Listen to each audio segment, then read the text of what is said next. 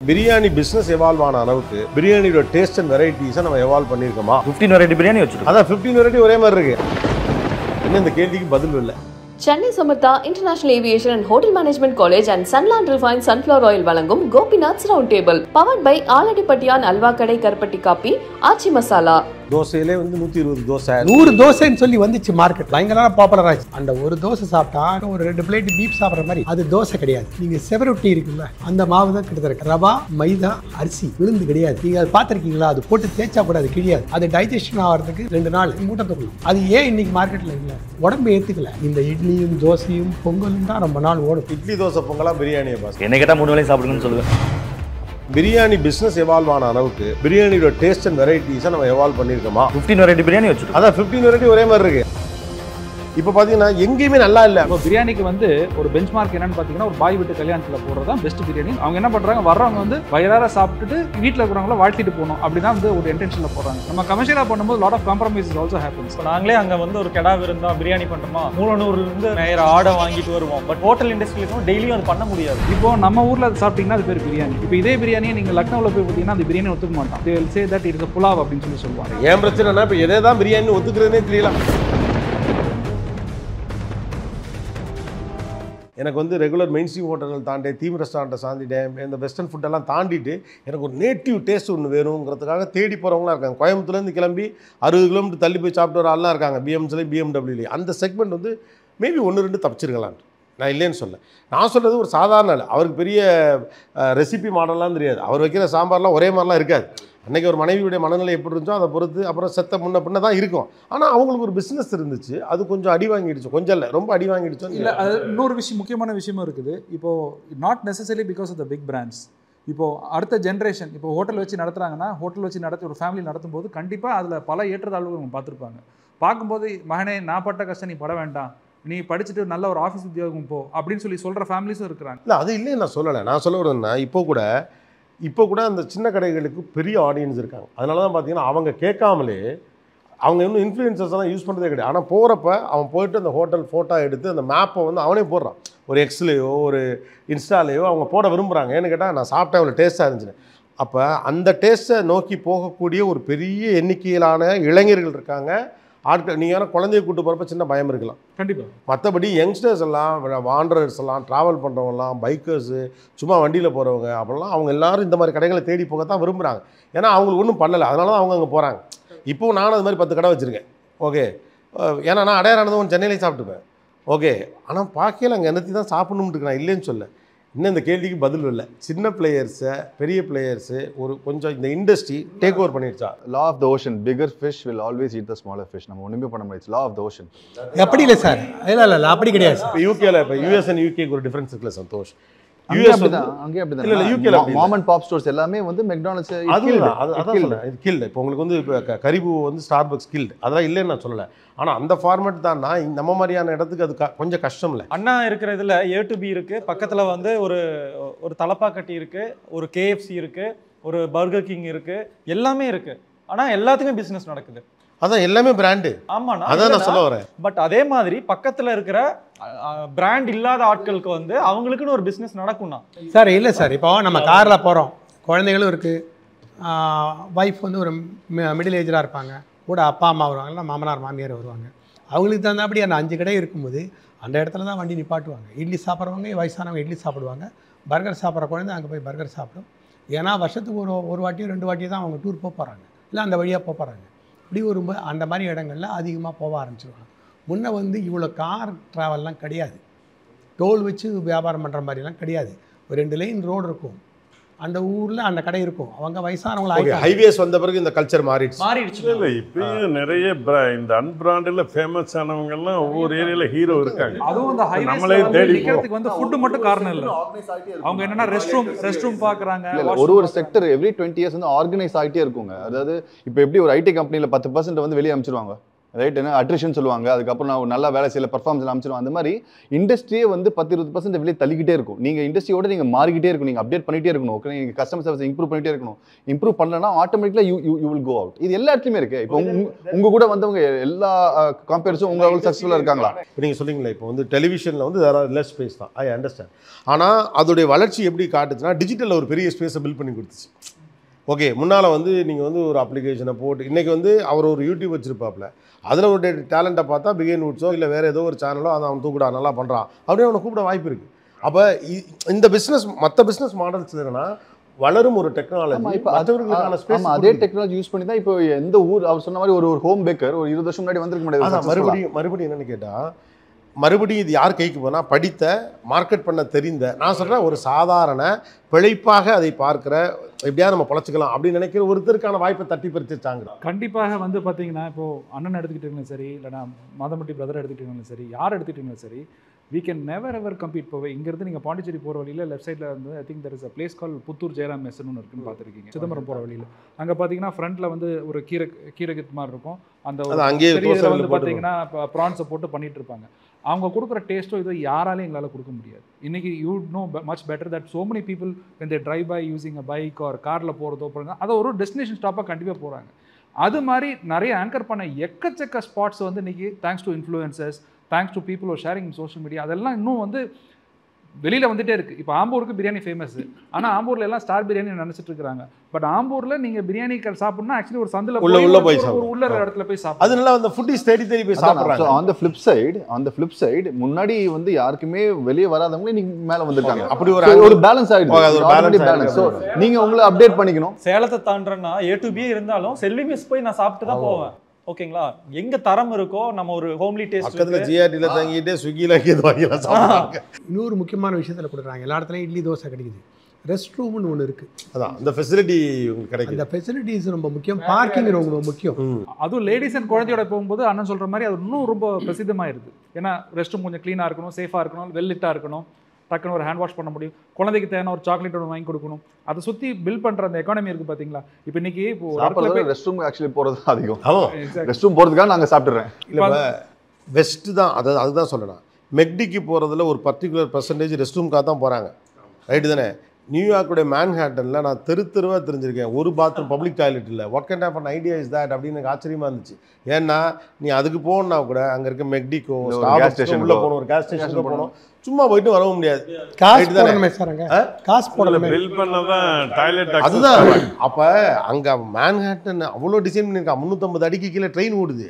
ஆனால் ஒரு public toilet public toilet இப்போ கிட்டத்தட்ட அதே இடத்துக்கு போயிட்டு இருக்கோமா அப்படிங்கிறது தான் நான் வந்து இதுக்கு போகணுன்னாவே எனக்கு இதுக்கு இவ்வளோ செலவாகுமா அப்படிங்கிறது ஓகே ஜஸ்டிஃபிகேஷன்ஸ் அப்பார்ட் சி நான் வந்து I just I don't want to push you into corner I understand completely அதான் நானே சொல்லிக்கினேன் வந்தால் நல்லா சாப்பிட்டு போங்க மாப்பிள்ள. இதை செய்யணும்னு நினைக்காதே கஷ்டப்படுவீங்கன்னு தான் எங்கிட்டையும் சொல்கிறாங்க பட் இதை தாண்டி இன்னொரு ஏரியாவுக்குள்ளே நான் வரணும் அப்படின்னு நினைக்கிறேன். பாரம்பரிய உணவுகளுக்கு திரும்புதல் அப்படிங்கிறது வந்து இப்போ ரொம்ப பாப்புலராக இருக்குது அது எந்த அளவு ஹோட்டல் இண்டஸ்ட்ரியில் ப்ரமோட் பண்ணுறீங்க அதுக்கு வந்து பெரிய வரவேற்பு இருக்கா? இல்லை ஒரு குறிப்பிட்ட செட் ஆஃப் பீப்புள் தான் அதை விரும்பி சாப்பிட்றாங்களா?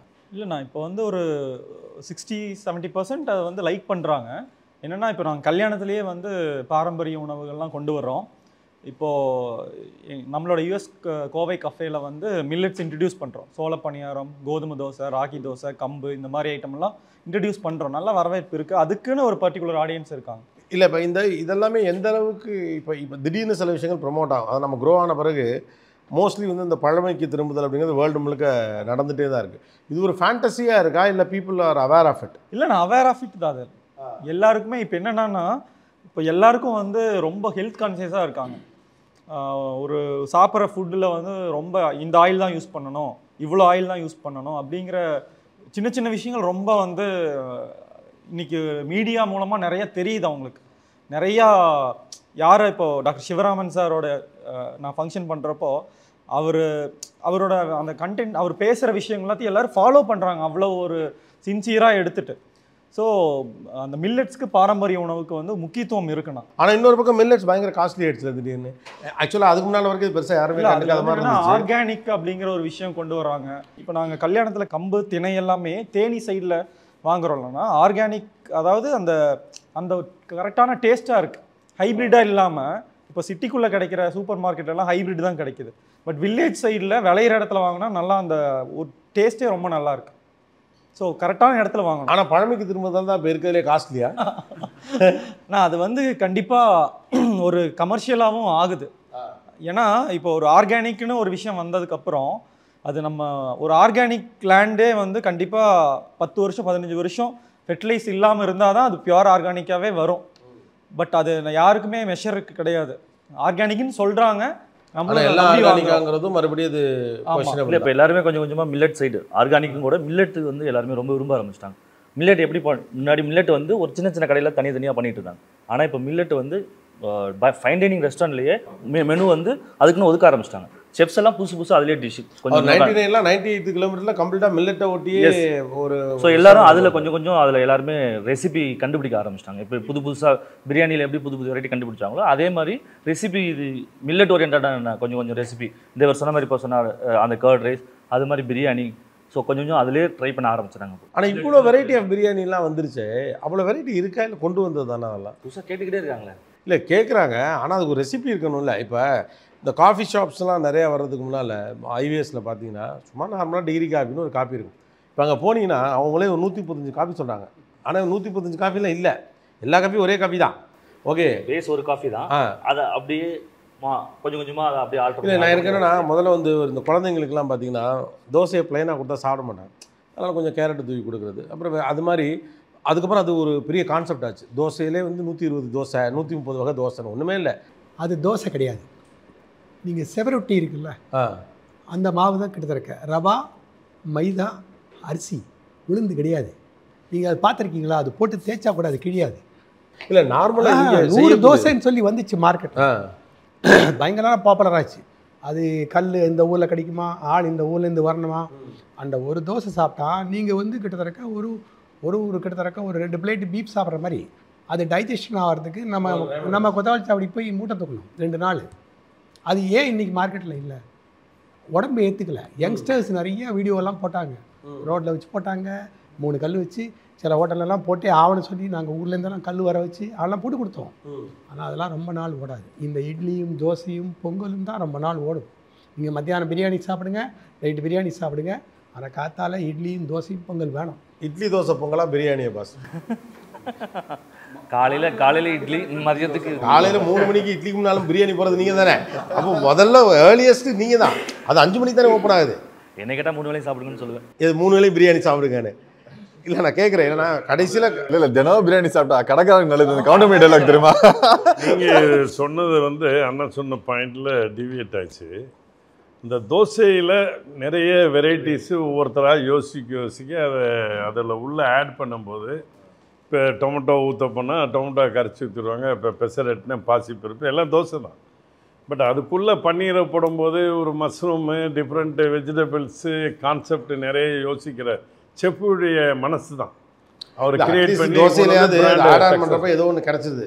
முன்னால் அப்படி ஒன்றே ஒன்று இருந்துச்சு அது பேர் மசாலா தோசை உள்ள கொஞ்சம் உருளைக்கிழங்கு வைப்பாங்க. நம்ம அரிசி பருப்பு இதோட இருந்தது. இப்போ தோசைக்குள்ள தோசை வைக்கல அவ்வளோதான் நீ. எல்லா தோசையும். வந்துச்சு அது மாதிரி பிரியாணிலையும் என் நம்பர் ஆஃப் வெரைட்டிஸ் போ is biryani overrated is become bore ஏன்னா ஒரு கட்டத்தில் பார்த்தீங்கன்னா எங்கே பார்த்தாலும் பிரியாணி இப்போ பார்த்தீங்கன்னா எங்கேயுமே நல்லா இல்லை அப்படிங்கிற ஒரு பேர் இருக்குது அதாவது என்னென்னா அவ்வளோ பிரியாணி வெரைட்டி இருக்குது ஆனால் டேஸ்டியாக ஒரு பிரியாணி கிடைக்கல அப்படிங்கிற ஒரு பேச்சு இருக்குது அந்த அளவுக்கு இவ்வளோ வெரைட்டிக்கு உண்டான ரெசிபியோட தான் பிரியாணி வருதா? இல்லாட்டி ஒரு டிஃப்ரென்ஸ் கொடுக்கணுங்கிறதுக்காக நிறைய வெரைட்டி வந்து பிரியாணியில் பார்த்தா நம்ம மெட்ராஸ் ஸ்டைல் பிரியாணி ஒன்று இருக்குது கொங்கு ஸ்டைல் ஒரு பிரியாணி இருக்குது ஹைதராபாத் ஸ்டைல் பிரியாணி இருக்குது ஸோ அதெல்லாம் ஆத்தென்டிக் பிரியாணி அதுலலாம் எந்த டேஸ்ட்டும் மாறாது. அந்த பிரி அந்த நாங்கள் பண்ணுறது பார்த்தீங்கன்னா ஹைதராபாத் பிரியாணியை பேஸ் பண்ணி நம்ம ரெசிபி அப்படியே டெவலப் பண்ணி இல்லை ஹைதராபாத் பிரியாணியில் நூறு வெரைட்டி இருக்குது அதான் பிரச்சனை இப்போ. என்னோட கேள்வி என்னென்னா இப்போ வந்து ஒரு பிரியாணிக்குன்னு ஒரு டேஸ்ட் இருக்குல்ல அந்த டேஸ்ட்லேருந்து வெரைட்டி கொடுக்குற அளவுக்கு பிரியாணியில் அவ்வளோ இது இருக்கா பொட்டன்ஷியல் இருக்கா? இல்லை அவங்களுக்கு ஏதாவது வழக்கமான பிரியாணி ஏதாவது மாறுபட்டு கொடுக்கணும்பா? ஏதாவது வந்து ஒரு மூங்கிலுக்குள்ளேருந்து வச்சு கொடுக்கணும் இல்லாட்டி ஒரு டப்பாக்குள்ளேருந்து வச்சு கொடுக்கணும் அப்போ தான் சாப்பிடுவானுங்க. அப்படின்னு பிரியாணி வெரைட்டி வந்துருச்சு. ஆக்சுவலி வந்து பார்த்தீங்கன்னா பிரியாணின்றது நீங்கள் கொஞ்சம் பின்தங்கி இருந்து பார்த்தீங்கன்னா பிரியாணி பிரியாணி பார்க்காம கொஞ்சம் you just pull yourself little bit back பார்த்தீங்கன்னா it's a combination of three things அதில் ரைஸ் இருக்குது மசாலா இருக்குது ப்ரோட்டீன் இருக்குது இது மூணு சேர்த்திங்கன்னா பிரியாணி. இப்போது நம்ம ஊரில் அது சாப்பிட்டீங்கன்னா அது பேர் பிரியாணி. இப்போ இதே பிரியாணியை நீங்கள் லக்னோவில் போய் பார்த்தீங்கன்னா அந்த பிரியாணி ஒத்துக்க மாட்டான். இல் they'll say that it's a pulao அப்படின்னு சொல்லி சொல்லுவாங்க. அவங்க பண்ணுறது தான் ஒரிஜினல் பிரியாணின்னுவாங்க. நீங்கள் இதுவே காஷ்மீருக்கு போனீங்கன்னா காஷ்மீர்ல வந்து அவங்க வந்து காஷ்மீர் புலாவ்னு ஒன்று பண்ணுவாங்க. அதுலயும் நான் வெஜிடேரியன் இருக்கும் அதை அது நம்ம ஒத்துக்க மாட்டோம் அது பிரியாணின்னு சொல்லிட்டு. இதுவே நீங்க என் அப்படியே கொஞ்சம் இப்போ எதை தான் பிரியாணி ஒத்துக்கிறதுனே தெரியல. அவ்வளோ பிரியாணி இருக்குது ஆனால் எதுவுமே இப்போ நான் ஒரு ஐ பீன் இது இது- இந்த ஃபுட் பற்றி நாங்கள் அடிக்கடி டிஸ்கஷன்லாம் நிறைய பார்த்துருக்கோம். அதில் பார்த்தா ஒரு கட்டத்தில் பிரியாணி வந்து அவ்வளோ பேசப்பட்டது. அவ்வளோ கடைகள் இவ்வளோ பிரியாணியா அப்படின்னு ஒன்று இருந்துச்சு. ஆனால் இப்போ என்னென்னா நிறைய பிரியாணி இருக்குது ஆனால் எதுவுமே அவ்வளோ டேஸ்டியாக இல்லை. அப்படிங்கிற ஒரு பேர் இது வந்து அந்த க அந்த பெல் கர்வ் வந்து இப்படி வந்த மாதிரி இருக்கு. Classic case of getting tired அது வந்து நம்ம எல்லாமே எல்லாமே எது எடுத்தாலுமே வந்து நம்ம ஃபர்ஸ்ட் ஒரு நல்ல ரெஸ்டாரண்ட்டுக்கு ஒரு இல்லை பத்து வருஷம் ஆனப்புறம் இல்லை அந்த மாதிரி இல்லைப்பா. இது வந்து it's love hate relationship we love to hate them இந்த பிரியாணியே பத்து வருஷத்துக்கு முன்னாடி தான் இந்த எல்லாருமே ஓவர் கைட் பண்ணது. அதுக்கு முன்னாடி நம்ம எல்லாருமே மீல்ஸ் சாப்பாடு தான். நல்லா இலை போட்டு சாப்பாடு சாப்பிடணும். இந்த பத்து வருஷம் பிரியாணி. எங்கன்னா பிரியாணி பிரியாணி பிரியாணின்னு இந்த பிரியாணி முகத்தில் நிறைய பிரியாணி கடை ஆரம்பிச்சது. இப்போ எகைன் வந்து பார்த்தீங்கன்னா அந்த கல்ச்சர் எகைன் கோஸ்ட் அங்கே அங்கே தான் போகுது. மறுபடியும் எல்லாரும் மீல்ஸ் தான். இப்போ பார்த்தா நாங்களுமே மீல்ஸ் கொண்டு வர ஆரம்பிச்சிட்டோம் பிரியாணி கடை தான் பேரு, but நாங்களே சேல் வச்சிருக்கோம். ஆகுது? மீல்ஸ் இந்தியாவில் ஹையஸ்ட் சேல்ஸ் வந்து பிரியாணி தான். பிரியாணி. ரெண்டாவது இட்லி வந்திருக்கு. ஓ பிரியாணிக்கு அப்புறம் தான் இட்லியே இட்லி வரும் வந்திருக்கு. ஓ ஆனா அதாவது ஸ்விக்கி ஜொமேட்டோவில் டாப் ஃபர்ஸ்ட் இதே பிரியாணி தான். பிரியாணியில் வந்துன்னா அந்த பேஸ்ன்னு ஒன்று இருக்கு. இப்போ நம்ம கொங்கு ஸ்டைல்னு ஒன்று பிரியாணி இருக்கு. பாஸ்மதி ரைஸ் சீரக சம்பா ரெண்டு ஸ்டைல் ஆக்சுவலாக எனக்கு தெரிஞ்சு ரெண்டே பிரியாணி தான். ஒன்று சீரக சம்பா பிரியாணி இன்னொன்று பாஸ்மதி பிரியாணி ஓகே அதுக்கு முன்னால் வெறும் பிரியாணி அப்படி ஒன்று இருந்துச்சு. அதுக்கப்புறம் மற்றபடி பெரியம்மா செய்கிற பிரியாணி அத்தை செய்கிற பிரியாணின்னு ஒரு ரெசிபி இருந்துச்சு. இப்போ இந்த கொங்கு ஸ்டைல் பிரியாணிங்கிறது எல்லாமே லேட்டர் தான். ஏன்னா ஹைதராபாத் பிரியாணி வந்த பிறகு நம்ம ஒன்று வச்சுக்குவோம். கொங்கு பிரியாணி ஒன்று சென்னை பிரியாணி ஒன்று புதுசா ஏதாவது கொடுக்கணும்னு தான் அந்த மூங்கில்ல பண்றது இலையில கட்டி பண்றது அதுக்கப்புறம் அந்த அதெல்லாம். பிரசன்டேஷன் அதெல்லாம் பிரசன்டேஷன் இல்லைங்களா? ஆமா. ரொம்ப வருஷமா கொங்கு பிரியாணி இருந்துச்சு. அது இப்பதான் ரீசெண்டாக வெளியே வந்திருக்கு. இப்போ ட்ரெடிஷ்னலாக இங்கே ஒரு பிரியாணிக்கு ஒரு பெரிய ஸ்பேஸ் இருக்குது பிரியாணியோட பிக்கஸ்ட் அட்வான்டேஜ்னா உங்களுக்கு வந்து எல்லாமே ஒரே இதில் கிடச்சிறது தான் ஒரு மீலில் வந்து நான் ஒவ்வொன்றுலேருந்து எடுத்து ஆட் ஆன் பண்ண வேண்டியது. இதெல்லாம் மிக்ஸ்டு அவ்வளோதான் ஒரு ஆக்சுவலாக நம்முடைய ஃபஸ்ட் ஃபாஸ்ட் ஃபுட்டு நான் நினைக்கிறது பிரியாணி தான் சொல்லுவேன் எல்லாமே அதில் இருக்கும். டக்குன்னு பேக் பண்ணி வரலாம். டேஸ்டியாகவும் இருக்கும் நல்லாவும் இருக்கும். ஆஃபர் எக்கச்சக்கம் ஆனால் நான் என்ன கேட்குறேன்னா பிரியாணி பிஸ்னஸ் எவால்வ் ஆன அளவுக்கு பிரியாணியோட டேஸ்ட் அண்ட் வெரைட்டிஸை நம்ம எவால்வ் பண்ணியிருக்கோமா? அப்படிங்கிறது தான் என்னுடைய கேள்வி. அக்சசிபிலிட்டியை கண்டிப்பா இவால்வ் பண்ணியிருக்கோம். ஏன்னா அக்சசிபிலிட்டி எவால்வ் பண்ணியிருக்கோம். நான் கேட்குறது டேஸ்ட் அண்ட் ரெசிபிஸே எவால்வ் பண்ணிங்க ஏன்னா பிஸ்னஸ் பயங்கர பெருசு. இன்றைக்கும் நீங்கள் சொல்கிற ஸ்விக்கி ஜொமேட்டோவில் நம்பர் ஒன்ல இருக்குது வே இந்தியாவிலே நம்பர் ஒன்ல இருக்குது அப்படிங்கிறாரு அவர். ஆனால் இவ்வளோ பாப்புலராக இருக்க பிரியாணி அது அதோடைய சுவையிலையும் அதனுடைய வேறு வேறு அதோடைய வெரைட்டிஸ்லையும் எவ்வளோ என்ஹான்ஸ் ஆயிருக்குன்னு கேட்குறேன் என்னென்னு ஆகலண்ணா என்னென்னு ஆகல. ஃபிஃப்டீன் வெரைட்டி பிரியாணி நாங்கள் வச்சிருக்கோம். ஃபிஃப்டீன் வெரைட்டி பிரியாணி வச்சிருக்கோம். அதான் ஃபிஃப்டீன் வெரைட்டி ஒரே மாதிரி இருக்குது அதான் கொஸ்டினே இப்போ. ஏன்னா அதுதான் நான் கேட்குறேன் இவ்வளோ வளர்ந்த பிரிய பிஸ்னஸ்னால் அது ரொம்ப பயங்கரமாக வளர்ந்துருக்கு. ஆனால் அந்த அளவுக்கு அதோடைய டேஸ்ட்டு குவாலிட்டி ஆர் உண்மையான வெரைட்டிஸ் அதிகமாக இருக்கா அப்படிங்கிறது தெரில இப்போ வெஸ்ட்டோட ஸ்பெஷல் என்ன அவன் ஒரு பிராண்டை உங்களுக்கு போர் அடிக்காமல் போர் அடித்த பிறகு கூட அது போர் அடிக்கணும்னு உங்களுக்கு நம்ப வைப்பான் ஒரு பீஸா ஒன்றே ஒன்று வச்சுருப்பான் கடைசி வரைக்கும் அதான். இன்னும் சொல்ல போனால் வெஸ்ட்டில் தான் ஃபுட் ப்ரிஃபரன்சஸ் ரொம்ப கம்மி. இந்தியன் ரெஸ்டாரண்ட்ஸ் ரொம்ப நல்லா போகிறதுக்கான ரீசன்னா நம்ம நம்ம மெனக்கடலில் அவங்க எதுவும் பண்ணுறதில்ல அவனுக்கு ஒரு டாக்குமெண்டேஷன் இருக்கும். அது தூக்கி போடுவான். காலேஜில் படிக்கிற பசங்க. சிக்கன் பிரியாணி மட்டன் பிரியாணி மட்டும் தான் இருந்திருக்கும். அது உங்களுக்கு போர் அடிக்க போய் தான் நாங்கள் வெரைட்டி வெரைட்டியாக அதே பிரியாணி பேஸ் பண்ணி கொடுத்துட்டு இருக்கோம். அதுதான் கொஸ்டினே வருது. நான் என்ன கேட்குறேன்னா இதோட மார்க்கெட் வளர்ந்த அளவு இதோடைய சுவையும் இதோடைய வெரைட்டியும் உண்மையாகவே வளர்ந்துருக்கா நீங்க அப்படிங்க தமிழ்நாடு கேக்குறீங்களா இல்ல? நான் இங்கே தான் கேட்குறேன் எனக்கு இந்தியன் மார்க்கெட் தெரியல. ஏன்னா இந்தியா ஆ. மார்க்கெட்டில் உங்களுக்கு பார்த்தா லக்னோலாம் வந்து அவங்களுடைய ஆத்தென்டிகேஷன் வேற. அவங்க தான். ரைட்டா ஏன்னா அவங்க தான் பிரியாணின்னு வந்துட்டு அதுதான் அந்த பிரியாணி நம்ம கிட்ட போகிறது ஆக்சுவலாக அந்த இப்போ சைனாவில் ஒரு தடவை I want to eat what's at fried rice ஏன்னா இங்கே நம்ம டி நகரில் ஃப்ரைட் ரைஸ் நம்ம நிறையா சாப்பிட்டுக்கணும். என்னால் வாயில் வைக்க முடியல. கேட்டால் என்னடா இப்படி பண்ணுறீங்க எங்கள் ஊரில் எப்படி பண்ணுவாங்க தெரியுமாண்ணே டேய் உங்கள் ஊரில் பண்ணுறது அது இல்லைடா இதான்டா இதுங்கிறான். அது பரட்டுது எனக்கு. நம்ம ஊர்ல பண்றது ஆக்சுவலி ஃப்ரைட் ரைஸே கிடையாது.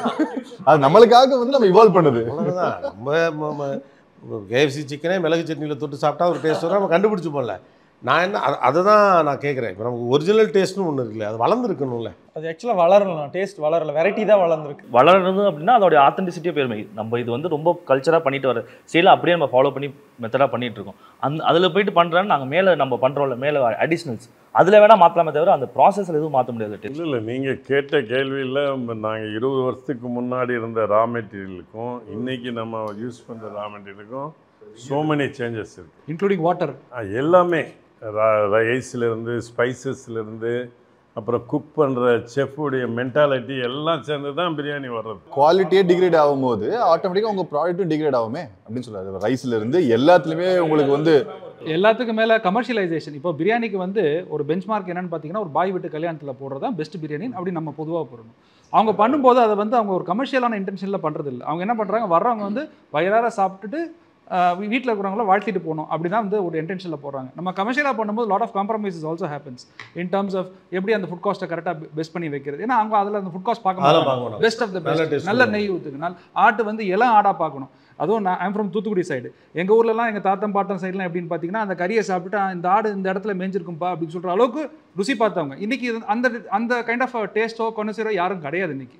இன்னைக்கு நல்லா ஸ்பைசியாக நல்லா சுட சுட கொடுத்தீங்கன்னா அது ஒரு நல்ல பிரியாணி அக்செப்ட் பண்ணுற ஒரு ஏன் நான் இதை கேட்குறேன்? இப்போ அவர் சொன்னதுலேருந்து நான் எடுத்துக்கிறேன்.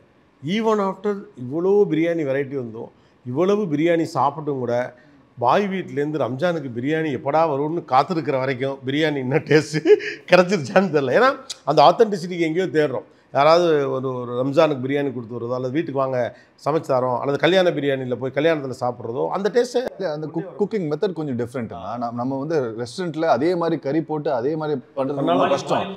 முடியாது. நான் கல்யாணத்தில் வந்து நான் அக்கேஷனாக நடக்கும். நம்ம வந்து நிறைய எஃபர்ட் போட்டு கறியை வந்து இப்போ நாங்களே அங்கே வந்து ஒரு கெடா விருந்தா பிரியாணி பண்ணுறோமா மூலனூர்லேருந்து மேயர் ஆடை வாங்கிட்டு வருவோம். பட் ஹோட்டல் இண்டஸ்ட்ரியிலுக்கும் டெய்லியும் அது பண்ண முடியாது. ப்ராக்டிக்கலாக நாட் ஒரு அக்கேஷனுக்கு பண்ணுற பிரியாணி நம்ம ரெகுலரில் பண்ண ஆமா, கொண்டு வர அப்ப- முடியாது. அப்ப மீட் வந்து கோல்ட் ஸ்டோரேஜ்குள்ள போகும் ஒன் டூ டேஸ் கண்டிப்பா. சோ அதுக்கு ஒரு ஒரு சின்ன அதுக்கான ஒரு சின்ன டேஸ்டோட காம்ப்ரமைஸ் இருக்கும் நம்மளுக்கு கண்டிப்பா. நான் வெஜிடேரியனில் இருக்கேன் இதை பற்றி பேசலாமா? ஆடே பின்னாடி வச்சுருப்பாங்க. அவங்க நான் சொன்ன பாருங்க அஞ்சு வருஷத்துலேயோ பத்து வருஷத்துலேயோ வரதெல்லாம் கிடையாது.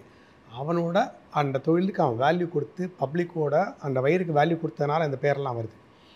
ஆடே பின்னாடி வச்சுருக்காங்க. பன்னெண்டுலேருந்து பதினஞ்சு கிலோ தான். அவன் மட்டனும் விற்கிறான். அவன் உள்ளார வெளியில் வந்து அந்த கறியும் செய்கிறான். அவன் செய்கிற பொருள் வந்து அந்த ஊர்லேருந்து எத்தனையோ நாடுகளுக்கு போகுது. கடை வந்து நான் இவர்கிட்ட இப்போ ஃபோட்டோ காமிச்சேன். வெறும் தகர ஷீட் போட்டிருக்கு.